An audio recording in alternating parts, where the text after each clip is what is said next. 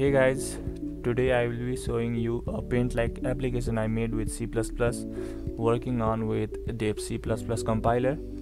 Let me run the code first. This is the loading bar. And this is the main program. I can draw with different colors using my mouse pointer different brush sizes and I can erase them. Or I can clear the whole board for taking a snapshot. I will write something.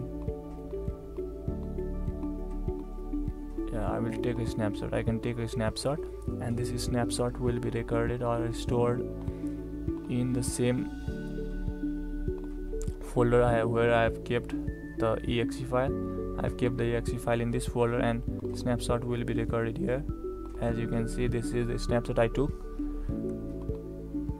This is the project and talking about the main logic first of all program will detect where the mouse left key or left button has been pressed and it will create a circle or draw a circle.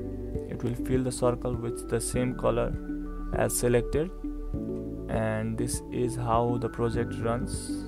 You can download the file or folder from the description box below. There is the link in the description box. Thank you so much